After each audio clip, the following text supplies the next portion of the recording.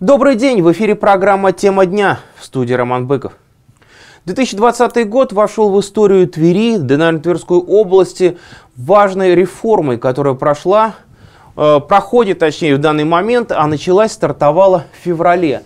Тогда в нашем регионе заработала компания «Транспорт Верхневолжья». На линии вышли впервые с советских времен автобусы, окрашенные в один цвет, Автобусы, самое главное, тут дело даже не только в цвете, автобусы, которые оснащены самым современным оборудованием. Да-да, то есть теперь автобус это не просто водитель, который крутит баранку. Там много стоит интересных гаджетов. И это, кстати, не только кондиционер, который мы все оценили летом. Что это за оборудование вообще? Насколько оно помогает сделать э, нашу жизнь, а в автобусе в том числе тоже живем, передвижение, естественно, безопаснее, потому что мы помним в том числе, что все-таки были поначалу много аварий, было много аварий, почему это случалось и что можно сделать, чтобы общественный транспорт как можно меньше попадал в аварии и вообще чем нынче насыщен любой городской современный подвижной состав общественного транспорта. Автобусы или в других городах, например, это может быть трамвай, троллейбусы. Но у нас это в Твери Тверской агломерации автобуса. Об этом мы сегодня поговорим с гостем нашей студии. Это Петр Бакулов, ассистент кафедры транспортной телематики такого знаменитого высшего учебного заведения, как Московский автодорожный институт МАДИ. Все его знают аббревиатуру. Петр, добрый день. Здравствуйте, Роман. Петр, скажите, вот как вы оцениваете вот этот важный шаг, когда в Тверской области вслед за другими крупными мегаполисами, в первую очередь, появились такие уже умные, скажем так, автобусы. Не просто нас купили автобусы, покрасили синий цвет и все, этим все закончится. А то, что там стоят какие-то хитрые, умные устройств, потому что мы слышали, нам тоже говорили, что как-то могут там считать пассажиропоток, но как все это никому толком не объясняли. Действительно ли современный автобус это не только двигатель, руль и четыре колеса? Роман, безусловно. Э, я бы даже сказал, совсем нет. Э, эффективный общественный транспорт на сегодняшний день это не просто средство передвижения, потому что мы все понимаем, что в первую очередь э, транспорт должен быть комфортным, а комфорт невозможно обеспечить, если мы просто сделали тележку на четырех колесах. А вы правильно заметили, что все началось не здесь, не в Твери, но именно здесь получилось знаковое развитие. А сейчас расскажу почему. все начиналось примерно в 2017 году, когда а, руководитель департамента транспорта Москвы Максим Лексутов а, пригласил консалтинговую компанию McKinsey с целью аналитики московского городского транспорта. Тогда в Москве впервые появились вот те самые синие автобусы, которые продолжили свой путь уже а, в виде компании «Транспорт Верхневолжья». Особенность тверского транспорта заключается в том, что, во-первых, это единовременно закупленные 470 единиц подвижного состава с применением финансовой схемы льготного лизинга под патронажем ВБРФ – и э, на основе этого опыта сейчас в эту систему, в этот проект будут входить и другие игроки крупные. Это Газпромбанк лизинг, это ВТБ, это Сбер. Но сейчас мы будем говорить с вами не о финансовой схеме, а о научно-технической. И что интересно, вы правильно заметили, мониторинг пассажиропотока. Действительно, Тверь стала первым городом, в котором а, в России? В России, первым городом, в России. Я даже, знаете, я бы, наверное, даже сказал так, в мире мало городов, где 100% подвижного состава а, современно оборудованные автоматизированные системы мониторинга пассажиропотока. То есть э, мы все привыкли, что есть такие ультрапередовые страны, как мы привыкли думать. Мало кто там был, тем не менее. Япония, например, Южная Корея, ну, та же самая Канада, США, Китай, говорят, много э, сейчас наверстывают в этом плане. То есть вы хотите сказать, что Тверь среди вот этих стран, Но скажем у них, так? Да, да, Тверь среди, среди передовиков, безусловно. Потому что а, произошло следующее. Единомоментно весь подвижной состав фактически обновили и оборудовали то есть, понимаете, когда это происходит эволюционно, то у нас часть парка стареет, часть парка ну, да. э, нового появляется, происходят какие-то модернизации, то есть какие-то автобусы на линии работают старые, без каких-то систем, какие-то новые с э, там такими-то системами, а какие-то там супер новые, какие-то вообще, может быть, беспилотные, да, то в Твери мы очертили линию фактически и э, сделали то, что в науке говорят эксперимент, да, фактически. То есть э, мы просто взяли там 470 э, автобусов современных, э, по нормальной современной коммерческой схеме их э, закупили, вы, вывели на линию, а все автобусы оборудованы одним и тем же фактически, да, то есть по своему по своей отдаче, да, а навесным оборудованием, так называемым. То есть это не только система климат-контроля, кондиционера, о которой вы а, ранее сказали, это в первую очередь это система мониторинга пассажиропотока, что особенно важно, потому что мы сейчас получаем огромное количество информации, а, в том числе сейчас а, всерьез обсуждается, буквально на прошлой неделе в Твери был заседание рабочей группы Госсовета, на эту тему в том числе говорили, и речь идет о мониторинге пассажиропотока в реальном времени.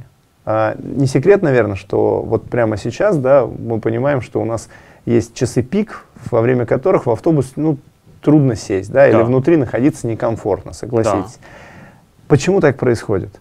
Особенность э, реализации перевозок в Твери сегодня – это брутто-контракт, одна из особенностей. Что это такое? Это... Что-то все привыкли, что-то вес, это брутто. Ну да, но у, у экономистов тоже эти слова применяются. Здесь речь идет о том, что просто а, каждый участник этого контракта отвечает за свою часть. То есть фактически есть процесс перевозки, это вывод транспорта на линию, и есть процесс сбора платы, это задача государственная. На сегодняшний день, когда вы платите за проезд в Твери, ваши деньги не попадают перевозчику вообще. Перевозчик а куда же они не уходят? Получ... Они все идут в бюджет. Все региональное. Региона. Да, да. Это региональное пополнение бюджета.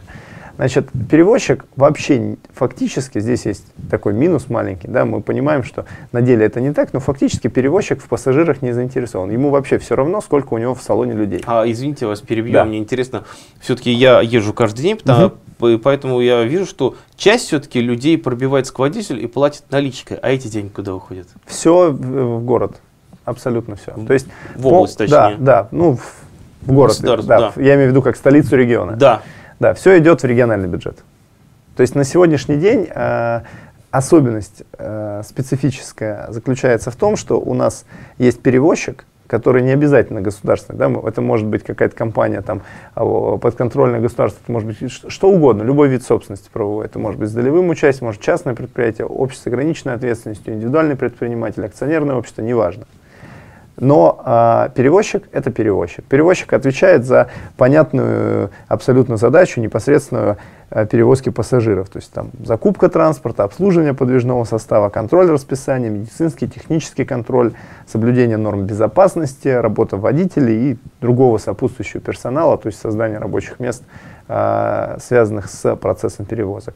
Но взимание платы и а, различные там комфортные условия этой оплаты и так далее. Это задача государства. Здесь есть небольшая сложность в том, что для государства это новая функция, потому что региональный бюджет классически пополняется э, из двух главных аспектов. Это местные налоги и э, сдача имущества в аренду. Как правило, э, вот эти два э, источника пополнения доходов для местного бюджета. Теперь появляется транспорт. Но на самом деле во главе угла стоит комфорт пассажиров не э, сделать городской транспорт экономически привлекательным. И именно поэтому, как одна из мыслей, почему возникли такие контракты, произошло это разделение. Потому что пока перевозчик пытался заработать до копейки все, мы помним, что было разваленные газели, никаких льгот, оплата наличными, а следовательно зачастую без всяких чеков и фискальных операций, соответственно, все это в серую, а остановки вне остановочных пунктов по любому требованию любого пассажира – и прочее, прочее, что, в общем-то, ну, вот оглянемся назад, вот сравним сегодняшний тверской транспорт и то, что было, ну, скажем, даже не год-два назад, возьмем пять лет – небо и земля. Мы понимаем, что это совершенно другие условия. Сегодня мы платим через QR-код посредством системы быстрых платежей Банка России. Сегодня мы платим бесконтактно. Сегодня у нас есть автобусы с климат-контролем. Есть приложение, в котором в онлайн можно посмотреть, где автобус едет. Да. И он приедет ровно тогда, когда ты его ждешь. Ты фактически можешь не бежать на автобус. Ты можешь видеть, ага, мой подойдет через 5 минут, возьму-ка пока пирожок. Самое главное, есть уверенность, что он подойдет. Вот я как пассажир да. могу сказать, да. самое главное. Точно Пусть подойдет. через 10 да. минут, я знаю, вот он едет. А не да. тоже как маршрутки раньше, он раз, ой, что-то устал, уже поздно, выключил все и все, спать пошел. Ну да, или, например, другой аспект был с маршрутками, что если э, где-нибудь какое-нибудь предприятие заканчивает работу там в 20 часов 30 минут со смены, а маршрут уже может не, не функционировать да. в этот момент. Почему? Потому что э, оператор говорит, да мне невыгодно ради одного завода гнать э, чуть ли да не до просто водитель решил, что он свою норму выполнил, заработал, все уже, пора и отдохнуть. Или может быть даже так. Это, это, это легко было. А на сегодняшний день мы понимаем, что у нас есть контракт, государство осуществляет контроль за исполнением контракта. Если автобус опаздывает, отталкивается от расписания как-то в ту или другую сторону, государство будет пенализировать, э, штрафные санкции применять по данному контракту, и перевозчик будет меньше зарабатывать. Соответственно, определенный минус есть в том, что, как я уже говорил ранее, как бы формально перевозчик не заинтересован в пассажире. То формально. Есть, формально. Потому что ему не важно, сколько у него человек в салоне. Он от них доход не Главное, имеет. проехался, чтобы автобус от и до в нужное время, Совершенно с нужной верно. скоростью, не совершив ДТП. А трава не расти, пустой он проехал абсолютно или битком. так. Да, абсолютно так. Это хорошо или плохо? И да, и нет. И хорошо, и плохо. Хорошо, потому что нету такого повального там попытки, повальной попытки заработать, а плохо, потому что когда у нас битком автобусы, нет такого способа отрегулировать это. Нет возможности позвонить и сказать в парке, там, Вась, давай еще автобусов налей. А я вас сейчас перебью. У нас, дорогие телезрители, есть попытка заработать. Мы выпустим рекламу, буквально три минуты, не переключайтесь. Мы сегодня говорим о новейших технологиях, которые применяются в современном пассажирском автотранспорте. Не переключайтесь, три минуты.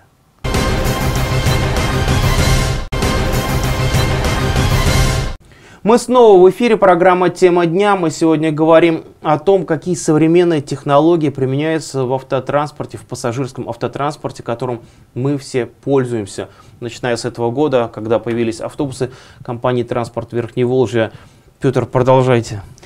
До рекламы мы закончили на том, что э, нет возможности отрегулировать э, и вывести дополнительные да. составы на линию, когда час пик, когда у нас загружены автобусы. И действительно нет такой возможности кому-то снять трубку, попросить еще из э, парка вытащить автобусы на линию, потому что у нас тут вот на маршруте затор. Да? Потому что а, битком едет да, транспорт. Да, потому что контракт предусматривает определенное, конечно, подвижность существует. Конечно, в контракте нелинейно все это. Да? То есть мы понимаем, что в а, определенные часы на определенных маршрутах меньше автобусов, в другие часы, наоборот, больше, на других маршрутах в этот момент меньше, больше. Данные обрабатываются. Как я уже говорил ранее, Тверской транспорт имеет уникальную особенность. 100% а, подвижного состава оборудовано системами автоматизированного мониторинга пассажиропотока. Кстати, а, системы довольно любопытные. Существует несколько технологий, как а, можно считать пассажиров. Да, на сегодняшний правда. день. Что, как цыплят по головам? Да, на сегодняшний день, да, э, входы и выходы оцениваются. Соответственно, у нас сейчас нет турникетов, у нас все двери активны и э, снабжены специальными устройствами, которые считают людей фактически по головам. То есть мы понимаем э, количество вошедших с нуля, да, мы понимаем, что с утра их ноль, потому что у нас автобус пустой выехал из парка. И дальше мы считаем входы-выходы, и тем самым имеем реальную картину во времени, сколько у нас внутри автобуса находится людей. Здесь есть и другие технологии, например, существует методика подсчета посредством видеокамер, но это более дорогостоящий способ, и эффективнее он работает, если запускать прогрессивную систему распознавания лиц. Тогда камеры высокой четкости а, могут а, снимать информацию и о лицах, находящихся в федеральном розыске, например, о каких-то преступниках. Э, и здесь есть обратная сторона медали, заключающаяся в том, что высокая четкость — это большой массив данных. Соответственно, эти данные нужно где-то хранить, потом обрабатывать. Это дополнительные также расходы. Поэтому на сегодняшний день применяется другая технология, как вы сказали, э, фактически как цыплят по головам, так оно и работает. Но, что более важно, сейчас как раз идет обсуждение о том, чтобы внедрить систему, которая бы работала в реальном времени. То есть если сегодня мы получаем информацию, обрабатываем ее и дальше вносим корректировки в маршрут. То есть мы это делаем с, большой задержкой. Задержкой. Ну, конечно. То есть автобус уже приехал, может быть, на конечную, а я только всю информацию получил окончательно. Даже, э, дело даже не только в этом. Просто контракт предусматривает жесткие условия, что вот э, такие-то, такие-то маршруты, такие-то, такие-то автобусы на таких-то, таких-то маршрутах с такой-то периодичностью идут. Все это прописано, все эти условия обязан соблюдать перевозчик. Мы со своей стороны, я говорю мы, имею в виду государство, которое работает над, над э, комфортом пассажиров. Может быть, хотим, не может быть, а точно хотим. И готовы выводить еще транспорт. Но э, перевозчик-то скажет, у меня контракт, вносите изменения в контракт. Как быстро их можно внести? Естественно, бюрократический аппарат не позволит щелчком пальцев э, прямо сейчас сказать из парка еще автобус. Нет, такого, такой функции на сегодняшний день а нет. А нужно именно так? А нужно вот что именно так. в эту секунду Именно сейчас мы видим, что переполненные идут автобусы, и нужно бы еще парочку добавить на линию. Да, и благодаря тому, что в феврале этого года у нас вот так черта была очерчена, и эксперимент начался, мы сейчас уже понимаем, что он удался. Забегая вперед, скажу, что не только Тверская область получит э, подобную модель, но и другие регионы по образу и подобию Твери. А, так вот, мониторинг пассажиропотока в реальном времени, эта функция появится в самое ближайшее время. Принципиальное решение принято, возражений ни с чьей стороны нет. И это ближайшее будущее, которое нас ждет. А если говорить о развитии, а, то все время любят сравнивать с Москвой. Да, вы даже начали ну, конечно. свой рассказ. Ну а как? Ну, Москва, столица Москве, естественно, финансы позволяют внедрять самое передовое все. И, конечно, мы ориентируемся на Москву, потому что, тем более, для Твери это самый ближайший, более-менее крупный город. Ну, можно сказать, крупнейший, наверное. Ну, я вообще имею в виду крупные, вот, ближайшие от нас э, Ярославль, Новгород дальше, другие крупные согласен. города. А Москва, вот она. Согласен. Мы на нее смотрим. Согласен, согласен. Действительно, с э, появлением новой дороги платные, тут вообще можно сказать, что и в, час, в часе езды, да, и да. ласточки. Час Поэтому 40 ты в центре час, города. Час 40 ты в центре города, да, соседнего, крупного. Но про Москву. Мы говорили, Тверь 100% оснащено да. СМПП. В Москве 5%. Как же так-то? 5%. Мы все время все эти видим репортажи, Собянин открыл, Собянин то, новые трамваи, новое то. И тем не менее мы обскакали Первопрестольную? Да, тем не менее так и есть. Поэтому, когда мы говорим, что Тверь это флагман, это действительно так. Это не просто слова, это математика. Еще один э, знаменательный аспект заключается в том, что э, в Твери очень э, социальные граждане, которые не ездят без билета и без оплаты. У нас статистика... Ответственные. Да, ответственные абсолютно. 97% перевозок оплачены. То есть у нас э, практически нет безбилетников. У нас очень хорошие показатели по этому. А верно я понимаю, что как раз это тоже обеспечивает эта система, когда вы видите, сколько вошло, а благодаря валидаторам сколько оплатило. Да, конечно. И таким образом можно всегда посчитать процент. Конечно. То есть не примерные числа, а реальные. И здесь, кстати, тоже очень важно э, не забывать о том, что когда автобус битком, Давайте, кстати, разберемся, что значит с научной точки зрения битком и не битком. Давайте, а, всем интересно это. В советское время норма была сумасшедшая. 8 человек на квадратный метр. Это, это как? сельди в бочке. Это, в прямом смысле слова. Ну, это просто 8 очень плотно. на 8 метр. на вот. метр. 8 на метр, да. На сегодняшний день, Роман, у нас э, ГОСТом зафиксирована предельная напол наполняемость 5 на метр. Мы в пределе стараемся, чтобы было 3. Вот считается комфортная зона, когда 3 человека на метр. В европейских странах, в отдельных городах полтора человека на метр, и тем более сейчас вот пандемия COVID-19 э, повлияла, то есть они стараются вообще там разграничить людей, чтобы один человек на квадратный метр, и можно было соблюдать социальную дистанцию. Это сложно, даже, будем говорить открыто, нереализуемо. Но три человека на квадратный метр, это вполне комфортно, и мы к этому придем однозначно, если применим, а мы применим, систему автоматизированного мониторинга пассажиропотока в реальном времени. Другой краеугольный камень – это безопасность. У нас э, на сегодняшний день никак подвижной состав, будем говорить откровенно, никак не оборудован э, системами помощи водителю. А если вернуться к цифрам по дорожно-транспортным происшествиям, то 2020 год брать не будем, не характерный. Опять же, из-за пандемии у нас местами на 70% сократилась э, потребность в транспорте у людей, потому что все сидели в изоляции дома. Но если взять э, период аналогичный этому году, то есть с января по сентябрь включительно, то в 2019 году произошло почти 5600 дорожно-транспортных происшествий по России с учетом, э, с участием э, транспорта общественного, то есть автобусов, троллейбусов, Это трамваев. намного больше? Это на 12% больше, чем в 2018. То есть это прирост. А чем объясняется? Аналитика, наверное, проводится? А, здесь важный момент, что из них подавляющее количество, то есть больше четырех с половиной тысяч аварий, это недосмотр водителя. То есть это попадание пешехода или велосипедиста в мертвую зону, это случайный наезд, да, потому что автобус очень большой, что говорить, управлять им сложно. И здесь важно понимать, что э, цифра это будет только расти, потому что в городах сейчас э, активно растет э, так называемая там самомобильность, то есть электроскутеры, всякие там самокаты, э, моноколеса, гироскутеры. Э, люди пользуются, это удобно, да, чтобы не пешком идти куда-то, а чуть-чуть там докатиться, взять с собой эту штуку можно в автобус без проблем. Поэтому это новые участники дорожного движения, которые стали такими опасными, быстрыми пешеходами, которые вы, выезжают фактически, они внезапно едут, откуда-то внезапно появляются. откуда-то появляются, да, сами при этом не находились никогда за рулем, им трудно оценить понятие мертвая зона, а самое главное, что на самом деле это самая опасная группа, потому что э, ну, с общечеловеческой, да и с государственной точки зрения мы понимаем, что наезд на там, подростка, на там, 18-летнего гражданина, это тем более с летальным исходом, это самое неприятное, что может быть. То есть у нас был активный гражданин, будущее страны, э, молодой какой-то, может быть, ученый, специалист, а в итоге это э, большая утрата.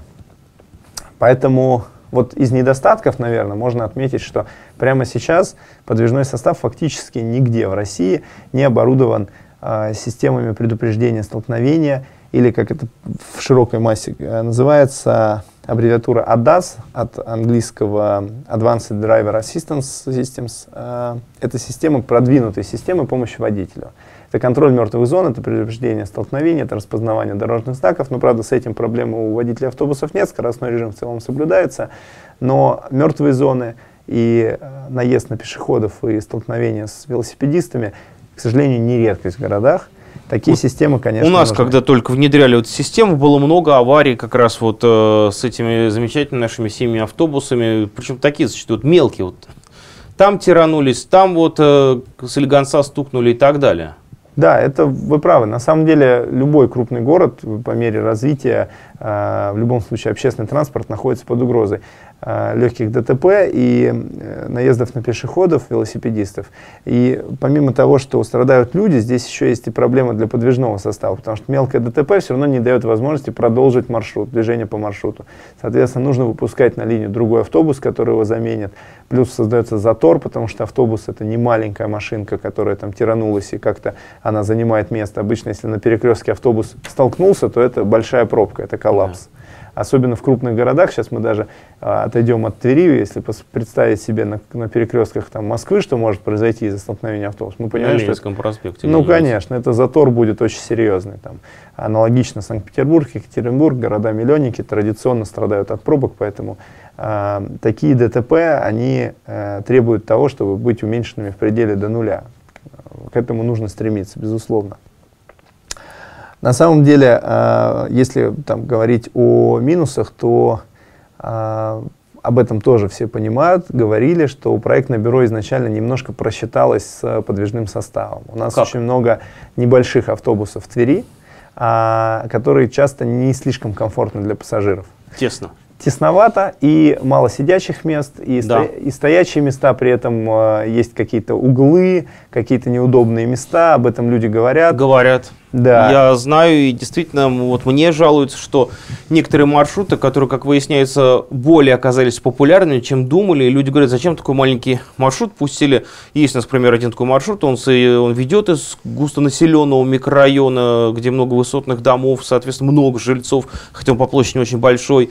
Он ведет очень через э, в центр, то есть, казалось бы, и люди говорят, почему вот здесь, почему вот я сам наблюдаю, что в час пик, вот сегодня утром я это видел, действительно, а, я даже такой автобус пропустил. Я подождал другого, более больших размеров, который идет по ну, сходу да, маршрута, да. потому что действительно в час пик, я еще раз говорю, этот густонаселенный микрорайон, он стремительно развивается, и, наверное, не ожидали, что там будет столько пассажиров.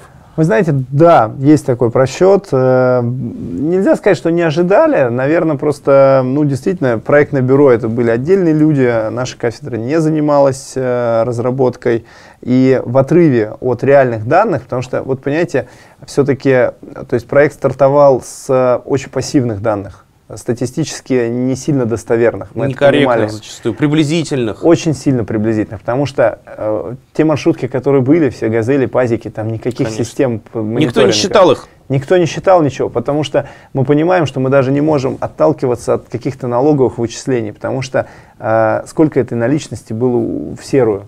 То есть, э, ну, ну это всем понятно. Да? То есть тут э, дураков-то нет. Поэтому э, в некотором плане вслепую действовали. Пришлось де делать все чуть-чуть по наитию. И, э, ну, действительно, проектное бюро промахнулось. Но мы понимаем, что следующая отсечка по подвижному составу, там, 2025 год, часть Э, подвижного состава в этот год может быть изменена, и эти корректировки будут вноситься. Просто прямо сейчас, когда у нас новый подвижной состав, ну, согласитесь, это невозможно, экономически просто. Мы потратили А вот поясните, да, телезрителям, потому что наверняка вас сейчас, сейчас слушают, говорят, а в чем проблема?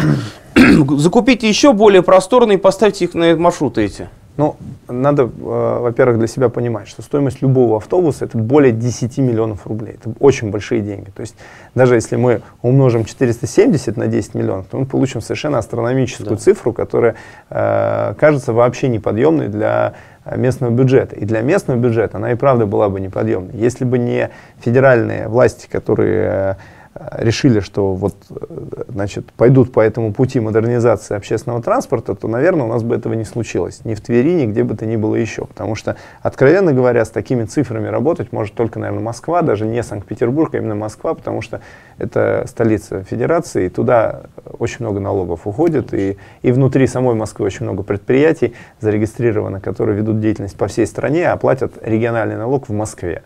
И поэтому Москва со своими бюджетами в несколько триллионов рублей, конечно, она там такие цифры пережевывает. А Тверь, конечно, без федерального проекта конечно. не справилась бы. И да, мы понимаем, что подвижной состав чуть-чуть не тот, который хотелось бы видеть, но, во-первых, нет нужды спешить, потому что если сейчас мы будем делать, да, у нас есть данные, но они все равно с февраля по сентябрь, да, то есть да. это еще не очень большой срез, даже полного года нет.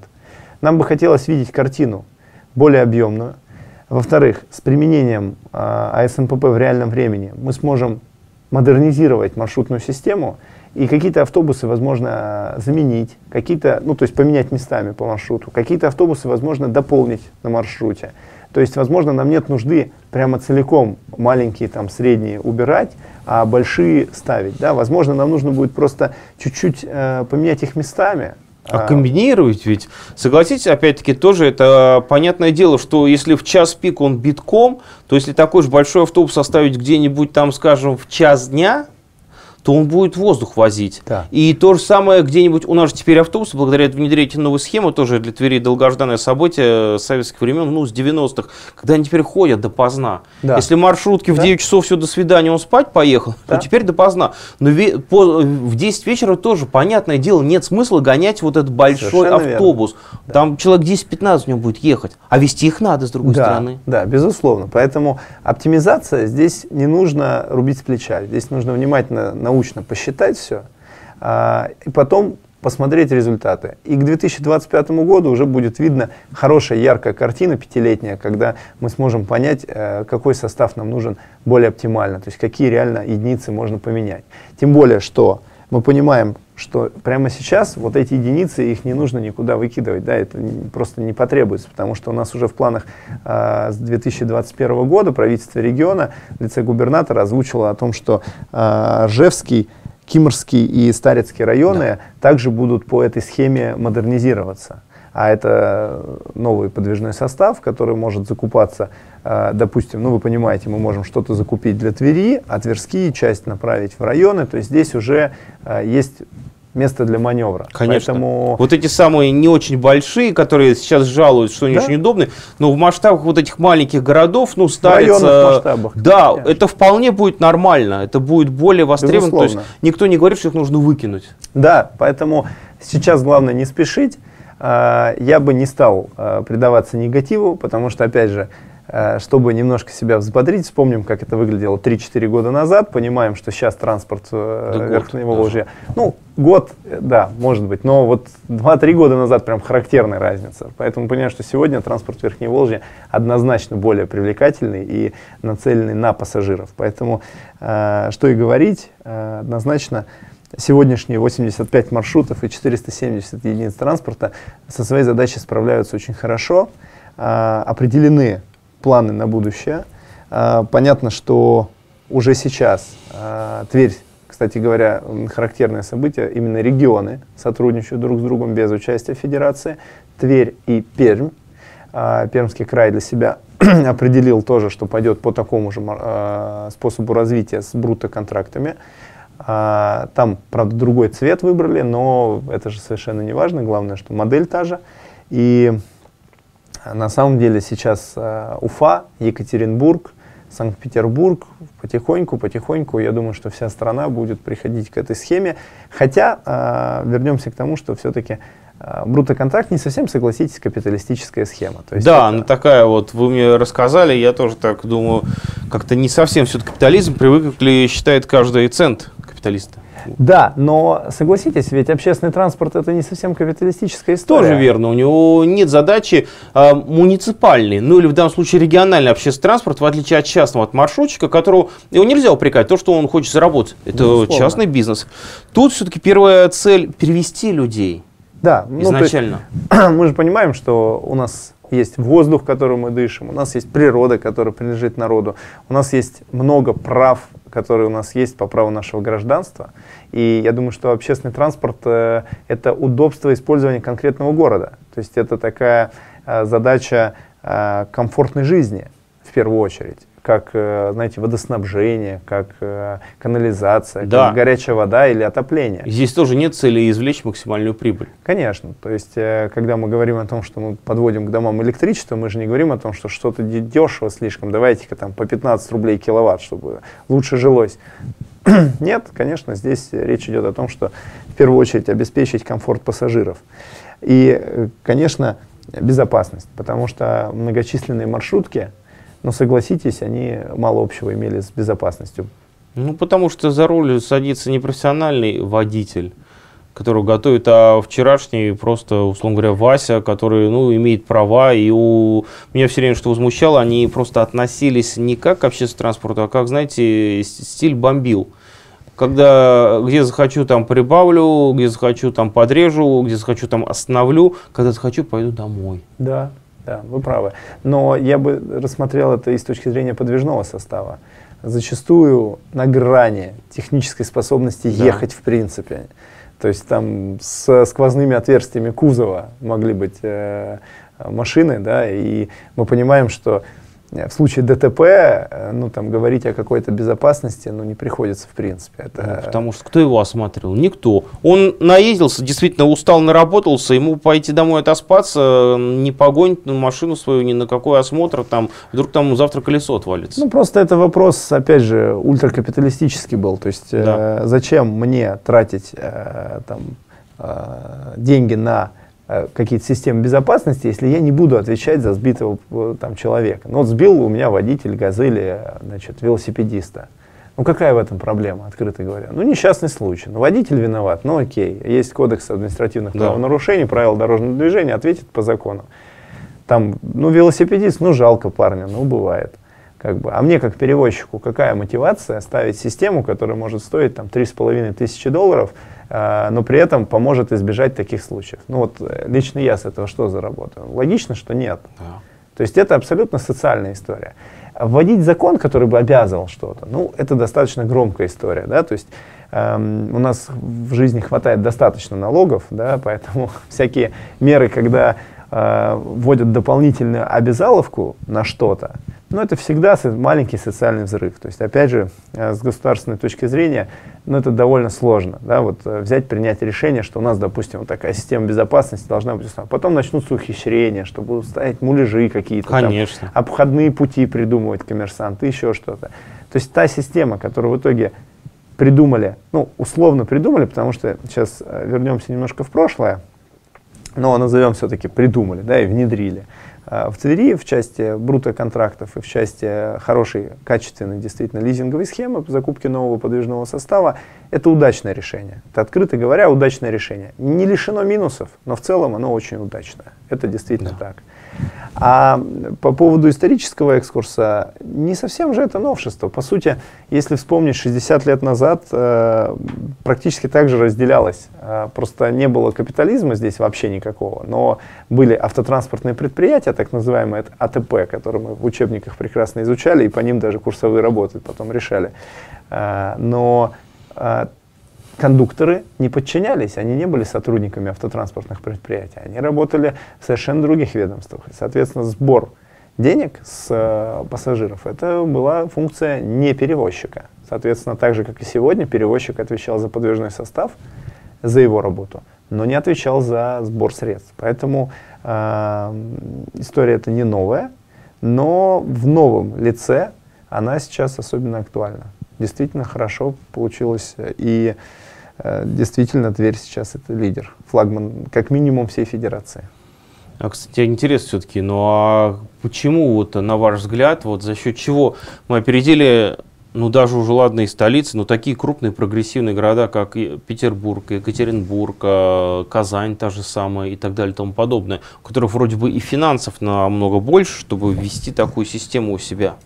Роман, ну, а, я думаю, что здесь совокупность факторов. Я всех нюансов сказать не могу, попросту не знаю, но а, думаю, что с научной точки зрения здесь немаловажно было то, что, во-первых, это была удачная, удачная возможность обновить весь подвижной состав сразу, потому что, чтобы провести удачный эксперимент, лучше ситуации быть не может. А, когда мы потихоньку это все внедряем, у нас опять же получаются отрывки данных. То есть у нас, например, не срез по целому городу, а срез по нескольким маршрутам или, например, срез по нескольким автобусам от маршрута, и дальше мы просто математическую статистику применяем и а, функцию подставляем, и просто начинаем воображать, по сути. Mm-hmm. Да, это расчет, да, это математика, да, это условные там алгоритмы, известные, понятные способы, но тем не менее, это все-таки расчет. А именно в Твери сейчас мы можем срез данных получать реальный, не воображаемый, а буквально реальный. То есть ошибка датчиков подсчета, она там пару процентов, она очень маленькая. То есть э, все работает, техника, кстати говоря, э, проверенная временем, она не российская, об этом тоже поговорим. Э, но она достоверная, это очень важно. Самое важное, а да. вы представьте себе объем инвестиций, если в Казани весь общественный транспорт поменять разом. Ну, город гораздо больше. Тверь, Он удач... нефтяной регион, не забываем, да, что здесь э, региональные бюджеты все равно с этими цифрами не справляются. Даже с учетом, что нефтяной регион, да, там есть ТАИФ, там есть э, бюджет Татарстана, но там также развитый Роснефть, которая тоже работает, и у нее отчисления идут в другой регион. Соответственно, точнее, правильно даже будет сказать, федеральный бюджет, а не да. регион. Поэтому э, количество человек, населения и количество подвижного состава, ну это вот так все совпало по совокупности факторов, что именно здесь а, Плюс недалеко от Москвы, то есть идея пришла все-таки из Москвы изначально, поэтому а, я думаю совокупность факторов. Почему не в Москве это внедрили? Опять же, очень дорого. Слишком. Ну, то есть в Москве представьте объем транспорта. Потихоньку в Москве к этому тоже приходят. И, кстати говоря, Москва сейчас э, работает хорошо в, э, в тематике безопасности, но работает немножко над другим. Там мои коллеги занимаются а, правда, из другого университета, занимаются а, анализом поведения водителя.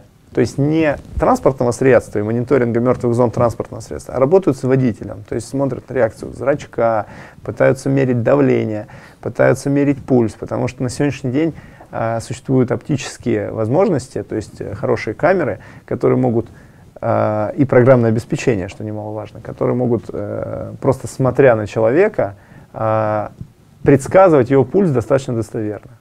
Ничего Просто себе. по цвету лица, по реакции зрачков, по э, реакции там, рук, ногтей, то есть вот камера, которая сфокусирована на одном объекте живом на человеке, она реально может по косвенным признакам посчитать давление. Там, то есть примерно... такой медосмотр онлайн. Да, да, да, фактически. Бесконтактный, как да. говорится. Но э, здесь есть э, свои нюансы, связанные с тем, что ну, по факту, ну, работаем мы с водителем. Но как нам это поможет избежать то, что водитель не заметит кого-то? Да. То есть мы можем сказать, что водитель был адекватный, в здравом уме и трезвой памяти. Отлично, но человек-то пострадал. И вот именно поэтому а, наши данные говорят о том, что они, кстати, не основываются на, каком-то, на какой-то гипотезе, они основываются на цифрах, об этом тоже поговорим они говорят о том, что работать нужно с транспортным средством. И нам нужно обезопасить транспортное средство, ликвидировать те э, краеугольные моменты, которые существуют у любого большого движущегося э, объекта. То есть это те мертвые зоны, которые невозможно увидеть в зеркале. Это э, банальная невозможность человеку с двумя глазами, одному, контролировать все происходящее вокруг огромной техники. По сути, мы же понимаем, что на машине бывает отвлечешься, что-то не заметишь, да, тиранешь. на легковой. На легковой, на небольшой. А когда у тебя такая огромная махина в руках, то не мудрено, что какой-то наезд возможен. Но это получается система парктроник, попросту говоря, автомобильным языком. Но не совсем. Это э, именно что целая категория ADAS-систем, это систем э, продвинутых, э, продвинутых систем помощи водителю. Почему говорят продвинутых? Потому что э, они интеллектуальны. То есть это не просто какой-то датчик, который пищит, когда его загородили. А, вот так вот. Речь идет о том, что, э, опять же, многолетние исследования, в том числе в Израиле, а, вообще а, лидером в этой области является израильская компания Mobileye. Они занимаются ADAS-системами достаточно давно. Последние 7 лет они а, разрабатывают и модернизируют собственный продукт, который существует на рынке. Но их данные исследовательские я читал, очень интересные. Они основываются на том, что все-таки лучшего способа обозреть ситуацию, чем видео, Камера. нету. То есть на самом деле камеры, вот казалось бы, да, человеческий глаз та же камера, по да, сути. по идее. Да, но вот действительно лучший способ для того, чтобы обозреть мертвые зоны, предвосхитить какие-то аварийные ситуации, это использование тех же самых камер, то есть, по сути, дублирование человеческих функций. Не лидары, не радары, не датчики ультразвуковые, а именно камеры, которые работают в видимом спектре. Это абсолютно фактически дубляж человеческих глаз. И что, нужно просто обвешать им автобус? Нет. Э, здесь речь идет о том, что э, есть готовое решение. Угу. Э, опять же, иностранные коллеги э, здесь довольно усердно потрудились. И э, решение заключается в том, что существует э, главный блок, существует э, несколько камер, три, если быть точным, для автобусов. А существуют э, небольшие панели в салоне, которые помогают водителю ориентироваться, и э, устройство головное, которое обрабатывает всю информацию, итого у нас получается три камеры, головное устройство сопряжено с фронтальной камерой, плюс две дополнительных камеры и три небольших дисплея, которые один дисплей ориентирован на информацию о дорожных знаках, о дорожной разметке контролирует положение автобуса влево-вправо и прямолинейно, чтобы э, предвосхитить угу. угрозу спереди и выезд из полосы.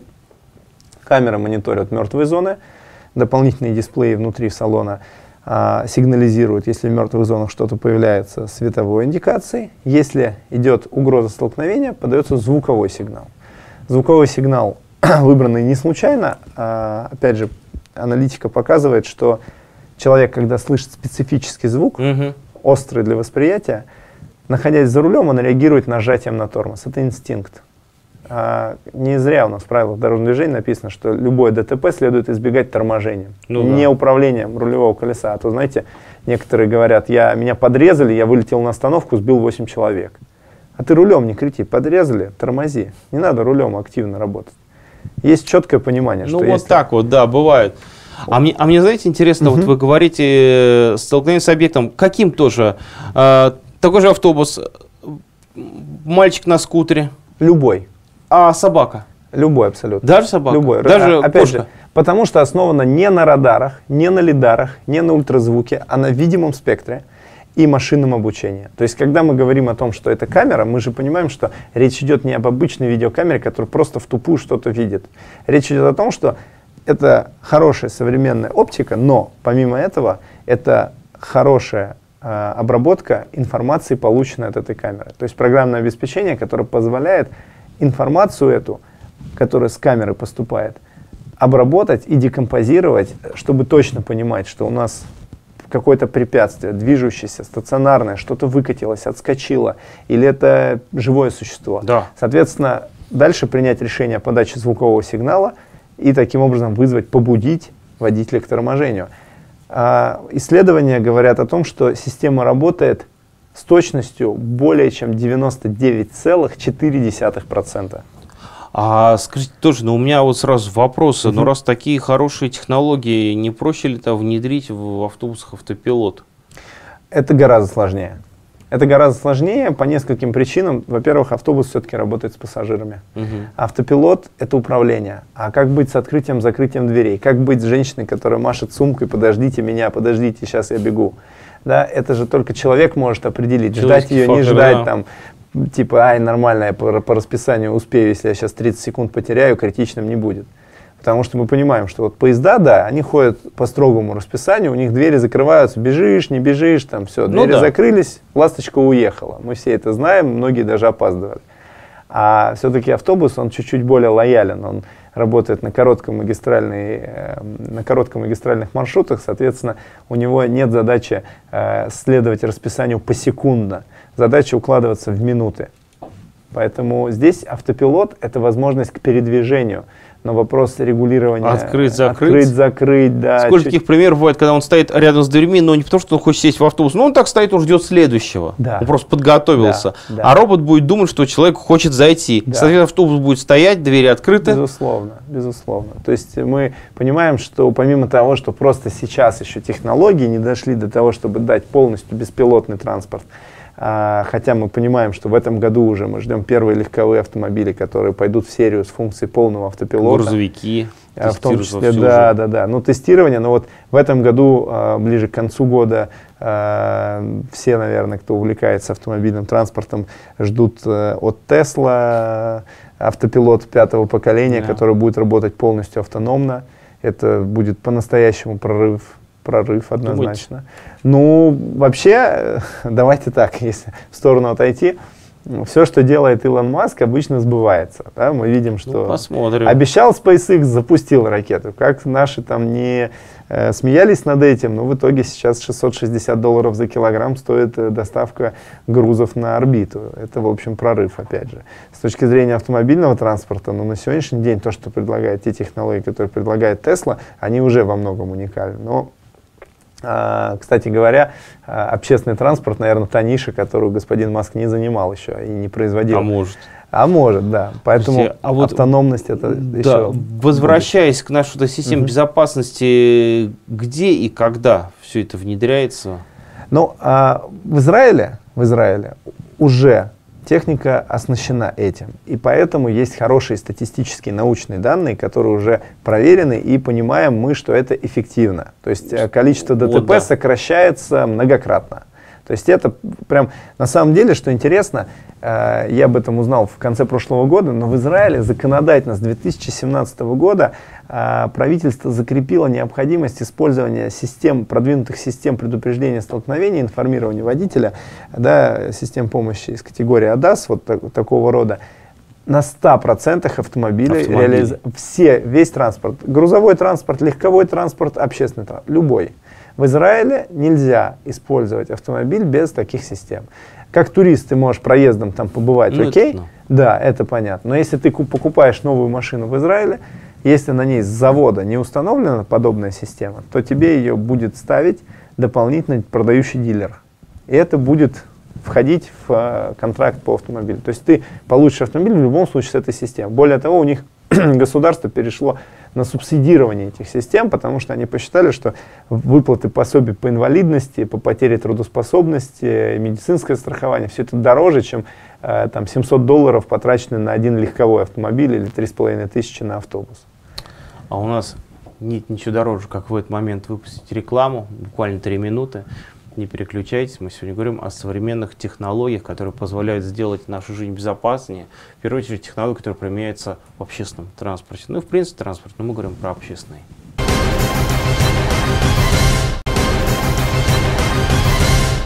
Мы снова в эфире. Программа «Тема дня». Мы говорим о современных технологиях, которые применяются автомобильном транспорте, в первую очередь в общественном, технологии, которые помогают нашу жизнь сделать безопаснее и более комфортными. Петр, скажите, ну вот эти все замечательные системы безопасности, вот мы Израиль, Израиль, в России все это где-то делается, и самое, конечно, всех интересует, когда это появится вот на наших автобусах, а где-то трамваях, если говорить о жителях других городов? Разумный вопрос. Э, меня он тоже интересует. И э, на сегодняшний день э, первая задача значит, это внедрение мониторинга пассажиропотока в реальном времени. А дальше я надеюсь, что нас будет слышно, есть основания полагать, что будет слышно, это работа над безопасностью. Да. Это работа над безопасностью, и у нас есть превосходные статистические данные э, от израильских коллег. Мы понимаем, что это работает, мы понимаем, что это нужно внедрять. А если говорить о производстве, то на сегодняшний день, э, наверное, важнейшим аспектом можно назвать то, что эти системы могут работать с российским программным обеспечением. Вот важный момент. Соответственно, э, нет ничего плохого в том, что сама система изготовлена не в России. У нас на сегодняшний день, э, например, да, датчики подсчета пассажиров – это Германия, валидаторы – это Китай, Корея, э, Чехия, телематические блоки, коммутаторы – российские – Провода, которые мы используем, не всегда российские, они могут быть различные, да, и в этом беды нет никакой. Есть закон, который нам говорит о том, что все это должно быть подчинено программному обеспечению, вхожему в реестр российского программного обеспечения. И это нормально. Да. Все, о чем мы говорим, может быть подчинено российскому софту. Это вопрос безопасности, в том числе макроэкономического характера, чтобы сбор данных, которые мы э, получаем посредством таких систем, в том числе, ведь это же камеры, чтобы не э, утекала информация куда-то, непонятно куда, где она будет обрабатываться, непонятно кем. Таким образом, возможность работы с э, импортным аппаратным обеспечением, но российским программным, она существует. И это доказывает возможность применения этой техники здесь без угрозы национальной безопасности. Да. Кстати, э, немаловажно то, что пассивно эти системы не только предупреждают столкновения, но и могут оценивать с помощью, опять же, российского нашего программного обеспечения оценивать поведение водителя и э, градировать его по некоторой шкале. То есть не обязательно врезаться, достаточно резко затормозить, уже да, некомфортно. Да. Пассажиры попадали, аварии нет. Вроде как я не при делах, все нормально, но ведь дискомфорт. В лучшем случае. Можно и руку сломать. Можно. Но, но при этом, ну ладно, руку сломать, положим, это будет зафиксировано, будет там какой-то документ. А если люди попадали, это будет негатив, и просто почертыхались и забыли. Да. Но ведь водитель плохо поступил. Конечно. Вот. А теперь мы сможем это оценивать. Если мы агрегируем а, подвижной состав а, подобными системами, то благодаря нашему программному обеспечению будет возможным оценить, насколько водитель адекватно управляет а, автобусом, совершает резкие маневры, торможение, ускорение. Ну что же, наш эфир подходит к концу, буквально немного. Таким образом, скажите, Петр, в целом, когда вот это будет уже массово внедряться, вот мы говорим о, про будущее, ну, перспективы какие-то. Всем вот интересно, вот вы столько интересного рассказали, как вы думаете? Я думаю, что уже с 2021 года, по мере развития в а, Тверской области а, бруто контрактов на соседние районы, а, не только в городе, угу. я думаю, что будет в 2021 году внедряться мониторинг онлайн, и надеюсь, что хотя бы пилотно мы начнем внедрять э, систему безопасности, чтобы э, и собирать данные по поведению водителей, потому что это тоже интересный массив данных, и в то же время, конечно, заботиться о безопасности и комфорте главных участников общественного транспорта, это пассажиров. А мониторинг онлайн это как раз он позволит, если что, оперативно перебрасывать вот то, о чем говорили, подвижной состав? Конечно, если... конечно. То есть мы, э, речь идет именно о том, чтобы применять это на практике, да. чтобы расширить границы брута-контракта, сделать не такими жесткими, но в то же время э, достаточными для того, чтобы и сохранять вот этот баланс э, стоимости проезда, сборов и качества перевозок, и в то же время э, дать возможность диспетчерским выводить дополнительные маршрут, на маршрут дополнительный подвижной состав. Вот это очень важно. Согласен. Ну что ж, это была программа «Тема дня». У нас в гостях был Петр Бакулов, ассистент кафедры транспортной телематики знаменитого такого института Московский автодорожный институт МАДИ. Он нам рассказал очень много интересного о том, что, оказывается, Тверь, между прочим, впереди не то что не планеты, но России всей по внедрению современных технологий. И вот, как сказал то, что Петр, в следующем году должно стать еще лучше и еще интереснее. Спасибо большое, Петр. Спасибо вам, Роман. А Спасибо. вам хорошего, комфортного путешествия в общественном транспорте. До свидания. До свидания.